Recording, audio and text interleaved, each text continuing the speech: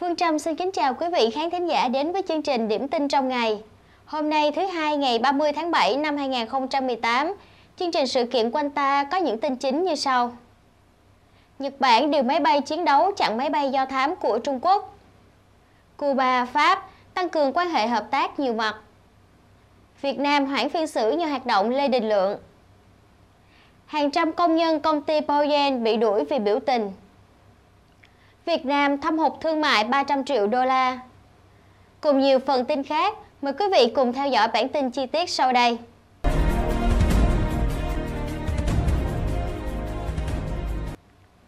Mở đầu là phần tin quốc tế. Bộ Quốc phòng Nhật Bản hôm 28 tháng 7 cho biết, nước này hôm 27 tháng 7 đã phải điều máy bay chiến đấu lên chặn một máy bay Shanxi Y-9JB của Trung Quốc trên vùng trời biển Hoa Đông. Đây là lần thứ hai không quân Nhật Bản ngăn máy bay Y-9JB trong năm nay. Hồi tháng 6, Nhật cũng phải điều máy bay chiến đấu lên ngăn chặn máy bay Y-9JB của Trung Quốc bay qua vùng trời quốc tế giữa đảo Okinawa và Miyako của Nhật trên vùng biển Hoa Đông. Hồi tháng 12 năm ngoái, không quân Trung Quốc cho biết các máy bay dạng vận tải Y-9JB và Y-9 đã sẵn sàng tham gia chiến đấu.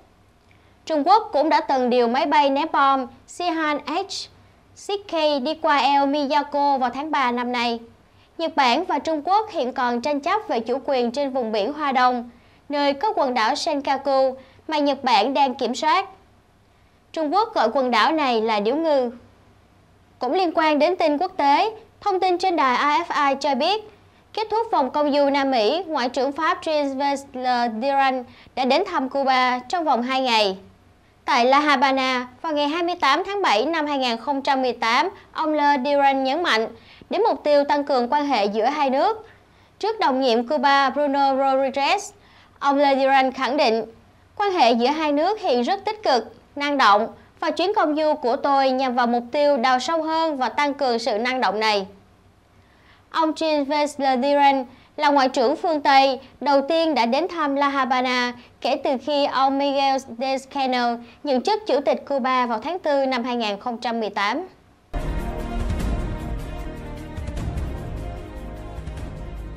Cũng liên quan đến tin chính trị, Tòa án tỉnh Nghệ An đã hoãn vụ xử nhà hoạt động Lê Đình Lượng vào ngày 30 tháng 7 do một luật sư bào chữa vắng mặt. Đài Á Châu Tự Do hôm thứ Sáu ngày 27 tháng 6 đã dẫn lời ông Hà Huy Sơn, một trong những luật sư bào chữa cho ông Lê Đình Lượng. Cho biết một luật sư bào chữa khác là ông Đặng Đình Mạnh đã có đơn xin hoãn vì không tham dự được phiên tòa vào ngày 30 tháng 7. Mới đây, luật sư Sơn đã được gặp thân chủ và luật sư Sơn cho rằng ông Lê Đình Lượng vô tội. Hiện vẫn chưa rõ thời điểm mới cho vụ xử này. Trong một diễn biến liên quan, vào ngày 27 tháng 7, tổ chức Human Rights Watch đã ra thông cáo trên trang mạng của họ để lên tiếng kêu gọi trả tự do cho ông Lê Đình Lượng. Human Rights Watch cho rằng chính quyền Việt Nam cần hủy bỏ các cáo buộc có động cơ chính trị đối với một cựu chiến binh, một nhà hoạt động bảo vệ môi trường và phóng thích ông ngay lập tức. Tiếp theo là phần tin dân chủ nhân quyền. Thông tin trên trang Liên đoàn Lao động Việt Tự do cho biết, ngày 26 tháng 7 năm 2018, một công nhân đang làm việc tại công ty Poyen, khu công nghiệp Tân Tạo, huyện Bình Tân, Sài Gòn, xác nhận với Liên đoàn Lao động Việt Tự do có thông tin hàng trăm công nhân bị đuổi việc sau biểu tình được lan truyền khắp trong công ty Theo đó, vào ngày 9, ngày 11 và ngày 12 tháng 6 năm 2018, hàng chục ngàn công nhân đang làm việc tại công ty Boeing đã biểu tình để phản đối dự luật thành lập đặc khu, cho thuê đất 99 năm tại ba khu vực Vân Đồn, Bắc Vân Phong và Phú Quốc. Ba khu vực trên được xem là địa chính trị cực kỳ quan trọng trong vấn đề an ninh quốc phòng của Việt Nam. Mặc dù hành vi biểu tình của công nhân rất ôn hòa, không vi phạm luật pháp, bởi vì hiến pháp nước Việt Nam quy định biểu tình là một quyền của công dân, luật pháp chưa ban hành luật biểu tình, nhưng đồng thời cũng chưa cấm biểu tình. Mà nếu có cấm thì cũng là đi ngược lại với hiến pháp. Theo nguyên tắc, những người làm trong bộ máy nhà nước chỉ được làm những việc mà luật pháp cho phép, còn người dân được làm những gì mà luật pháp không cấm. Mặc dù mọi sự đã quá rõ ràng, nhưng những công nhân biểu tình vẫn bị chính quyền mang vũ khí ra trấn áp bằng hơi cây và vòi rồng. Thậm chí có nhiều công nhân đã bị người của chính quyền đánh đến mức phải nhập viện. Tiếp theo là tin liên quan đến xã hội. Một đại diện lâu năm của Facebook tại Việt Nam vừa rời khỏi công ty, trong khi một cựu giám đốc chính sách của Uber Việt Nam mới gia nhập Facebook. Truyền thông trong nước cho hay như vậy vào hôm Chủ nhật ngày 29 tháng 7.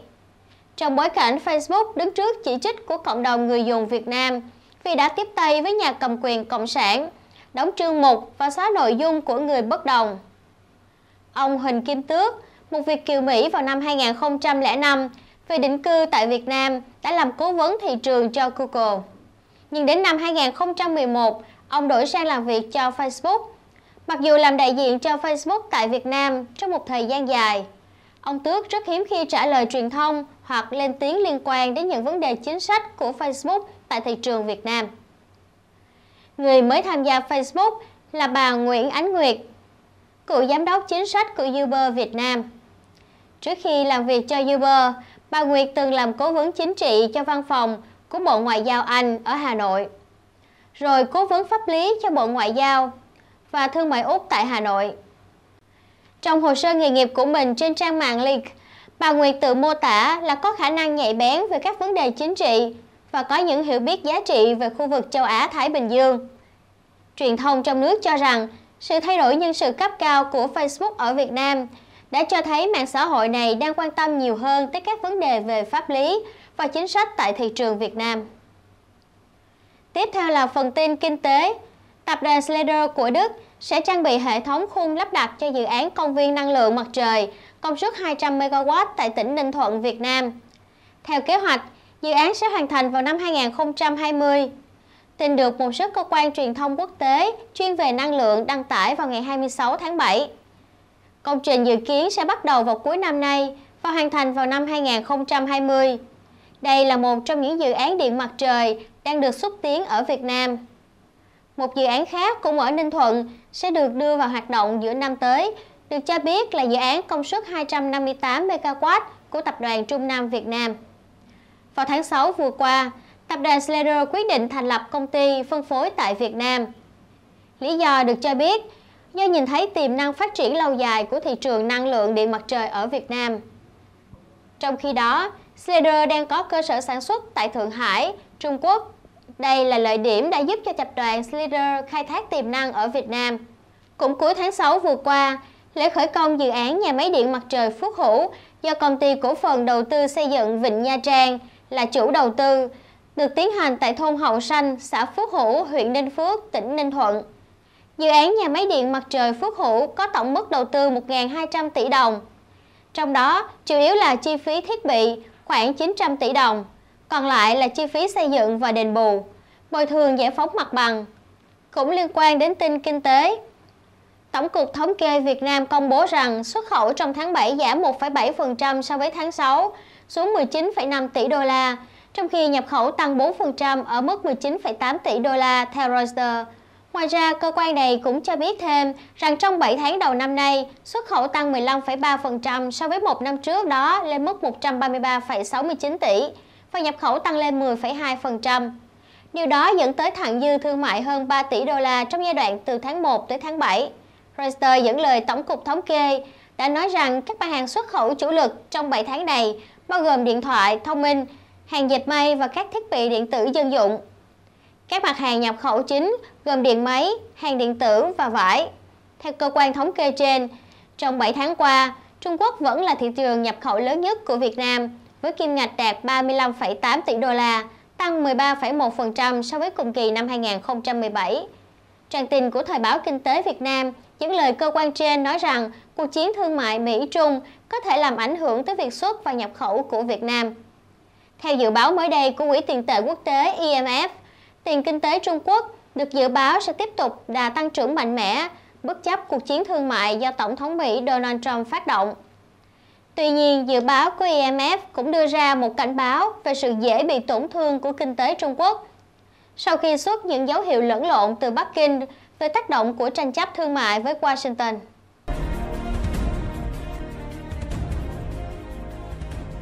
Tiếp theo là chuyên mục bình luận thời sự. Trong chương trình hôm nay, Phương Trâm xin gửi đến quý vị bài viết của tác giả Quốc Ấn Mai với nhan đề Tướng Thời Bình, Bài viết được đăng trên trang cá nhân của tác giả vào ngày 29 tháng 7 năm 2018. Mời quý vị cùng theo dõi.